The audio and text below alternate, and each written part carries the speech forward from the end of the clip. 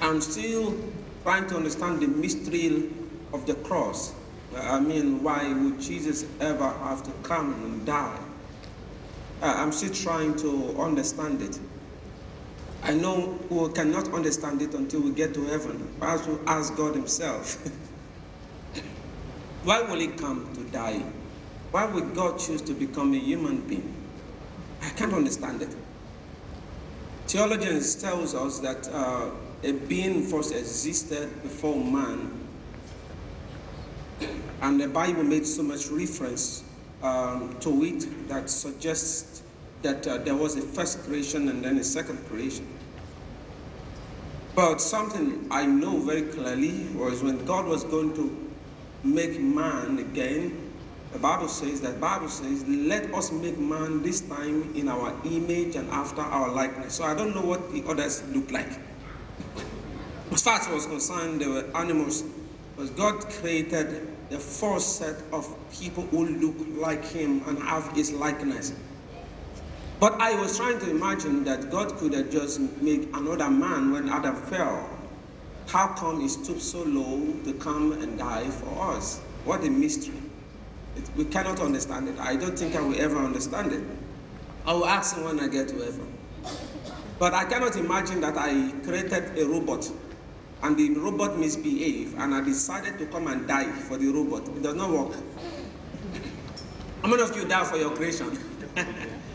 it's even difficult for parents to go uh, take a death, a death sense, uh, sentence for, for their children. You know, your son misbehaved, and then you go and tell the judge, I want to die in place of my son. It's difficult, right?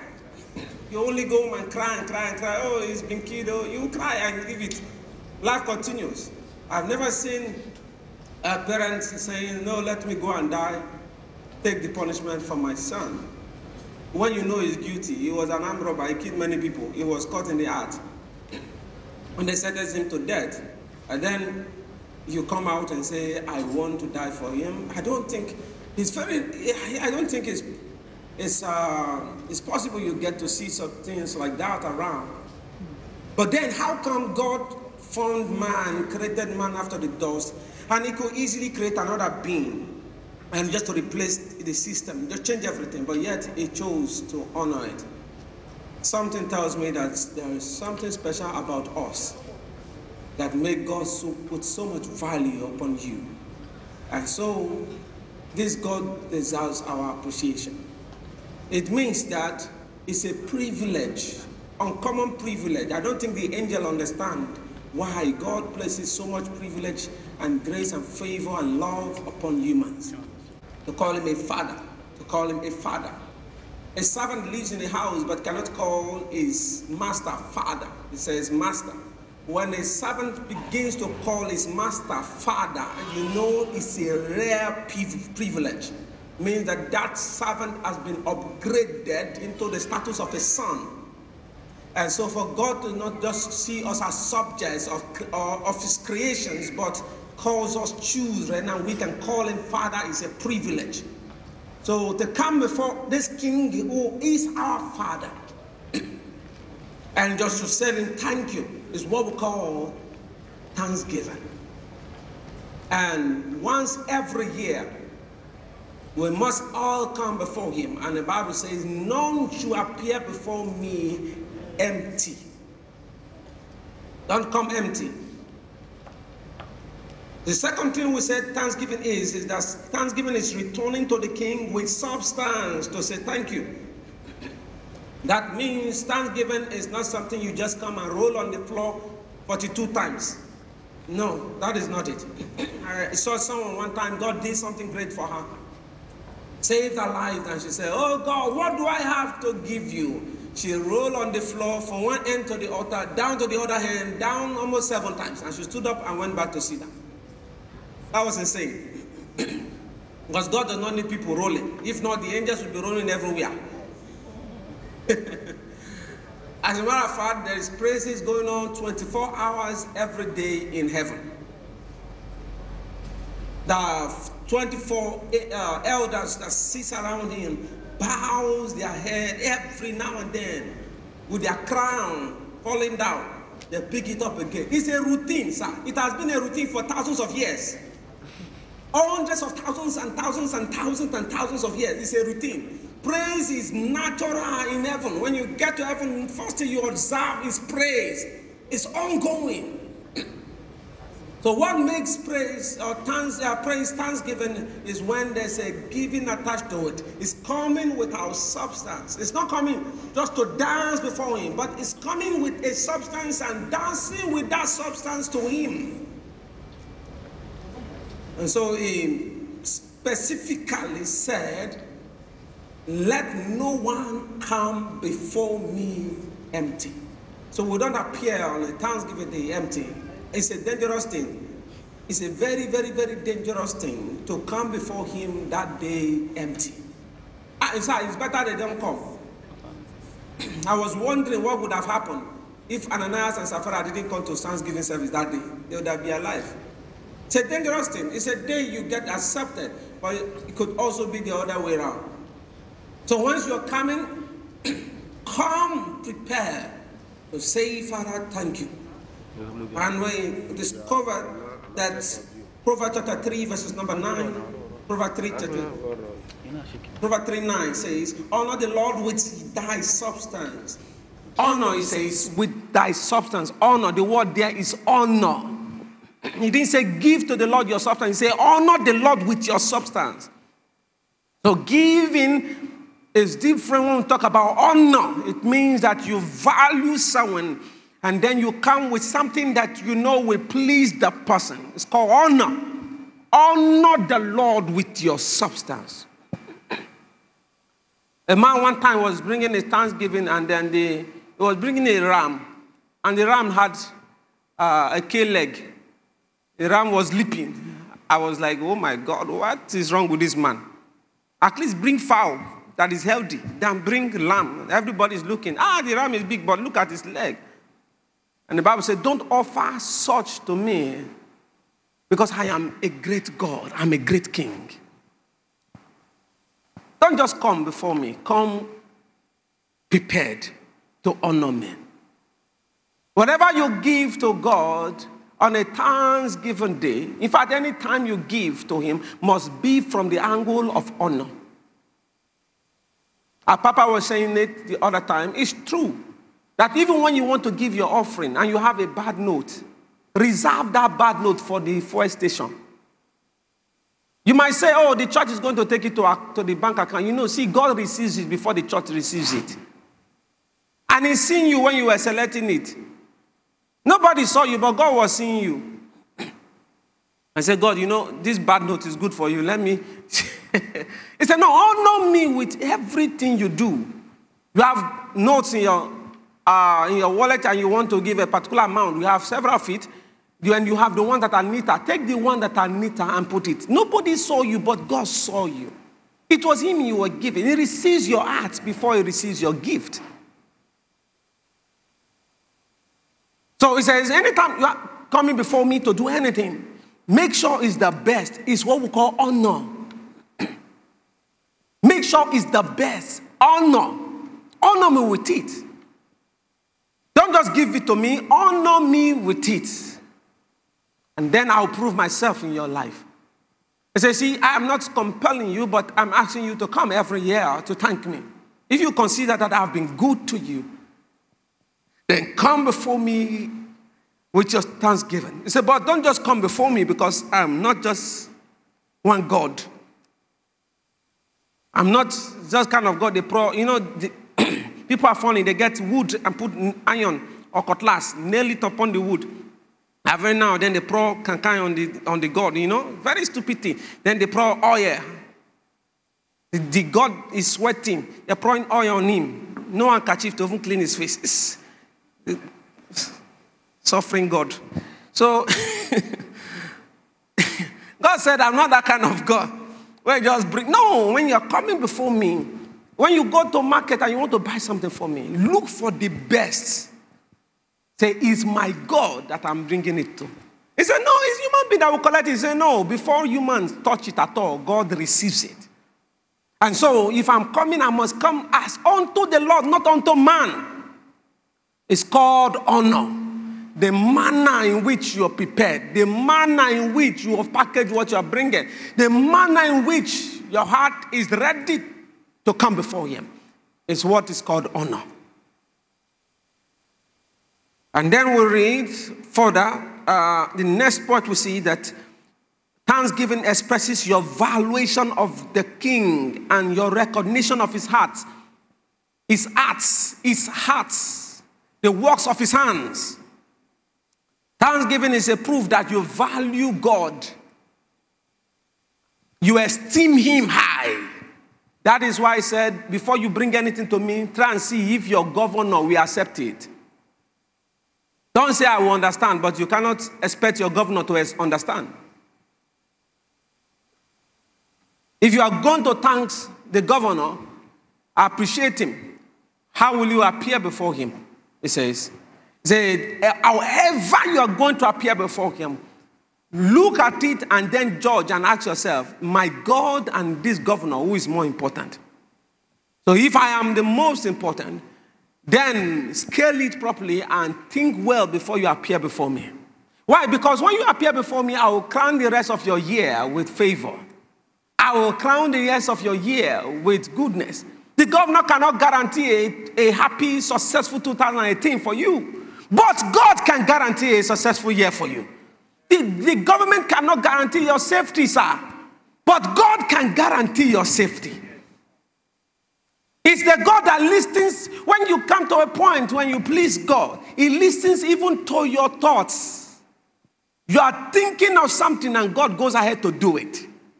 You have a problem, you are thinking of how to solve it. Before you open your mouth to pray, answer have already gone ahead of you.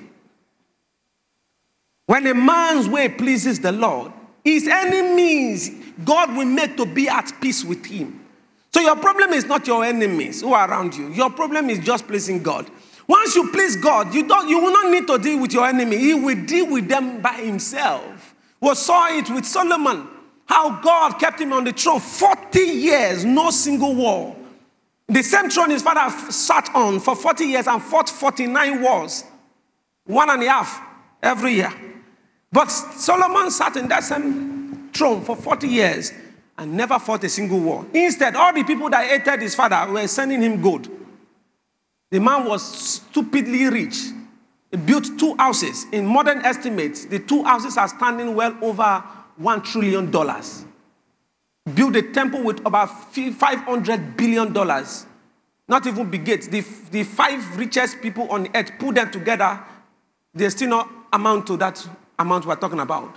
Yet one man built one house with it. Imagine you carry the weight of Bill Gates and Buffett together to build one house. Now think about it. the, the floor of the compound, not we are building this place, now people are jealous. it's cement ground. We are talking of somebody built a, a, house like this and the whole compound was gold. The floor of the, the where you park car was gold. That was how rich it was. The walls were plated with gold. There was nothing bronze, bronze in that building. Then when he was building his own personal house, he built it with well over $500 billion. Hey, two houses, $1 trillion.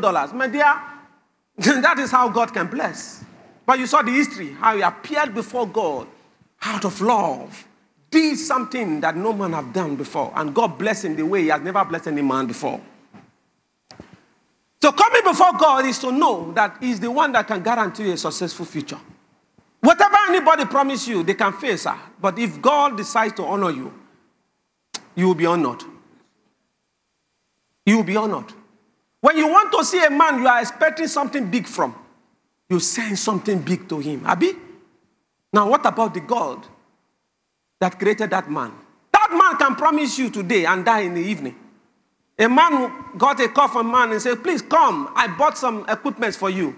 Come and carry them. The man said, Okay, I will come on Friday. On Wednesday, the man died. So when he got there on Friday, he saw the man's poster. There was no need. He can't, be talking about the man promised me something. He, had to go. so it, he, was like, if I had known, I would have come that same day to come and carry it. He just waited two days extra. By the time he came, the man was dead. He asked them, did he say anything about me? They said, no. that was the end of the matter. Said, You see, man have no guarantee over their lives. They can promise you and fail, not because they want to fail, but because it failed them. They didn't have the capacity anymore. A man can tell you, come, on your way going, a problem bigger than him will come upon him. That your problem becomes secondary. It does not, it's not, it will come, when you come, say, please, I can't attend to it anymore. But he told you to come. Before you came, another problem has visited him. That is human being for you. So you can't put your trust on him. But there's one that you can satisfy. And if you satisfy him, he will satisfy you. The one who hears your prayers, who feels the pains and things you're going through in your heart, and will respond without you even saying a thing. I was sharing with them yesterday. My wife was supposed to come back yesterday, and uh, she was supposed to take a flight back uh, because of um, my sister who was supposed to also travel down. So she was going to take flight back from Lagos around 11. And she had a papers, a paper to write uh, at about 8. We got a call that the flight is no longer for 11, it's now for 9 o'clock. Wow. From Unilag down. Whoa. How is she going to make it? So we started making plans. God got someone to check her in. Fine. So the point was to wrap off. Everything was delayed and delayed. They delayed the exam to 9. The guy called me. I said, Is there a possibility of a, uh, of a delayed flight? They say, No. And if that does not happen, she's going by road, it's going to be late before she's coming. So I just said, Lord, delay this flight. Create weather problem. Create any problem. Delay it until she comes. So I was trying to solve this problem. The next thing I got a call, they said, okay, the flight has been delayed for 30 minutes. I said, okay. I called her, 9.30, she still had, they've not attended to her. Oh my God. I said, God, this one is not good. No, delay the flight. I was just like that. Then I was going to enter into uh, the message at Place of Kings uh, with starting service, so I could not make any call. I sent a text to, I said, call this number, it will be done. But I left it. I said, Lord, I know it's in your hands. Do what only you can do. My dear, she got to the airport 11.30. They boarded 11.35. They kept delaying and delaying and delaying and delaying until she arrived. The moment she arrived, they moved. Five minutes after she came, they moved. The God who delayed it for from 9 to 30. A man came in now and said, ah, I don't know why they delayed. And she now said, I delayed the flight. The man said, Why did you delay the flight? I said, ah, papers. she was not smiling. From Benin, God delayed the flight in Lagos. If your way please God, He will listen to your very thoughts. And He will change things you never. You see, you don't understand what it means for God to be pleased with you. Just please Him. Leave the rest of the game. You see, don't bother about the anxiety of 2018. 2018 is a tough year. It's a very one tough one because that is the year politicians are trying to make their way in doing all the campaigns. Quite a lot of funny things will happen in 2018. But this thing I know God does not need economic reform, God does not need economic policy to lift any man. God can, we have risen in recession. It's in Buhari time. We have had the best year ever. Inside recession, inside recession, that's when we are doing the things we are doing. It doesn't it surprise you? Yes, because God is not controlled by the economy of Nigeria, not even the economy of Africa. Dollar does not affect him. Because silver and gold belongs to him. When he wants to direct it to you, just do it. So it's very uncommon ways, uncommon rooms God opened for you. That is why the first thing you do is to ensure that you are in tune with him, that you please him. Please him and forget the rest. If you are here, you are thinking about how your Thanksgiving is going to be. No, no, no. I want you to just sit down and ask yourself can I sustain myself in 2018? No. Do I have any person I can depend on to guarantee me 2018? No. So who am I depending on? God. Then why won't I please Him? Come, let Him accept you. If He accepts you, forget about 2018. It's settled. It's settled. It's settled. It's settled. I have my thanksgiving, my wives, my two children. Yes, even Rebecca, she doesn't know what is going on. But I've thanksgiving for her and labored her thanksgiving, wisdom, intelligence, and favor. So when she grows up and they're seeing her mind, and computer mind, they will say, ah, it's because his father is brilliant. It's a lie. It's God seed, seed that is opening the brain. You seed to open the brain. Our first fruit was sent to Papa. As soon as we're through with the naming ceremony, I looked, how much is it? Just sent on my, took my phone on it, transferred the worth of it in SMS, in uh, credit to Papa's phone. The father connect this child to favor. so when, when you see them, David and Rebecca, those people, blessed people, their destiny I have arranged. I have arranged it. Eh? Plug them into, you know what I'm, I'm plugging them into grace. So when you see their mind, the way they are thinking, fast, intelligent, ah, don't say it's because their father is bright. It's not because of me. It's seed that is unlocking their brain. It's understanding, sir. Let God be pleased with you. And even your enemies will be compelled to favor you. The people that don't like you will be the people that give to you most. Where they never liked you before, doors will open for you there. It's please, see, please. That's why I, am just concerned about one thing. Anybody can be angry with me, but not Papa. Eh? Anybody can be angry with me, not Papa. Oh. I don't, I don't like it one bit. I can instead I want extra mile. I want him happy with me, not for anything, because I know what it what it brings. It's a favor that follows when your father is pleased with you. Now think about God being happy with you. It's a favor, sir. You don't understand. I can tell you what I'm experiencing. I connect everything to my father happy with me. Papa is happy. That fact that he's glad with me is enough. It settles me. My sister, younger sister, did something and it, it really touched me. I was so happy. When she followed my wife when she was going, because she just gave birth one week, she needed to go travel for her exams. Wow. I looked for anybody. My mom could not go, her mom could not go. And she has one week baby to carry. She has exams. Whoa. My younger sister said, I will go. And she has been looking for a job a long time. She went. I was so happy. When they told me how she was receiving her, how she was helping, I said, Oh God, thank you. She went two weeks away. They called her the next week to come and resume a job. She got two job offers. Now, she was in Lagos, she got two job offers. They called her to come and resume on the first. She said, No, I can't because I say I'm, I will be coming by the upper week. They gave her, okay, come on Monday. Now she came, she just came in today. She's traveling tomorrow to go and pick up a job on Monday. What she could not achieve just because I was happy with her. That is how it is. When your father is happy with you, everything works for you. Just please God, forget about men, please God, and the heavens will open over you. If there is anything opening the heavens over this ministry, it's because our Father is pleasing the Lord. Once there is, once is the connection is there, God is happy with you. Anybody that tries to harm you, God will rise up against them. You won't have to fight yourself, fight for yourself. No, you won't have.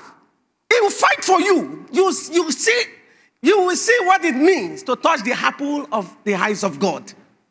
Even in error, God still said, David, my servant, how dare you want to touch him? Even when David was in error, you could not touch David. David was untouchable. Even when David sinned, instead of God to punish David, he was killing Israelites. David met God and said, God, you are not the one who committed this sin, it's me. Kill me, kill me a family. God said, instead of me to kill your family, oh yeah, bring South Africa, let me end this thing. instead of God to kill, he was the one that did it. Why did God kill any member of his family? Because the man was in tune with him. If God is pleased with you, say, ah, even when you are wrong, he will be punish people around you instead of you. Somebody say favor. That is what you have come to carry today. Amen. and your hands will carry it. Amen. In 2018, let people say things are not going well. Not for you. Your story will be different. your story will be different. All the things that have not worked, that were prayer points, after this service today, they will become reality. They will become reality. They will become reality. In the name of Jesus. As you adjust and prepare yourself, if you don't have it, don't deceive yourself. God is not a man that he can be deceived. God is not mocked. He sees it, he knows. Your excuse, he knows it. He sees everything. He knows what you could have done. He knows all the options you have. He knows everything, sir. Don't, don't try to just leave those things aside and tell God, I don't know how I'm going to survive tomorrow, but I know if I present and commit tomorrow into your hands, I will not lack. And then come before Him with that joy. Dance before Him today with all your heart. As you offer your sacrifice, I know that the God of this mandate will beautify you. Amen. As He has beautified this mandate, He will beautify you. Amen. Your testimony will begin to resemble the rock of ages. You'll begin to see people coming to give you properties that you never thought they could ever give you for your life. Doors will open for you that you never knew you could get. Men will begin to locate you and favor you. People will walk into your life from everywhere and begin to take you to next levels. In the name of Jesus. Contracts you have never done, they will forget whether you have done it at that capacity. No, they won't ask questions. The next thing they will say, send your account. Whether you have the qualification no, send the account, but just go ahead and get it done. We trust you. the Lord favor you. The Lord bless you. The Lord cause you to go from strength to strength. The Lord increase you in grace, increase you in might. 2019 will deliver for you. Before this year ends, because you are coming to thank God today, it will be testimony all the way. You will end this year the best year ever. This Christmas will be your best Christmas ever. In the name of Jesus. Can we lift up our voice and give him all the praise? Give him all the praise. Can we lift up our voice and give him all the praise? Thank him, thank him because this thanksgiving is settling you, is settling you, is settling you, is settling.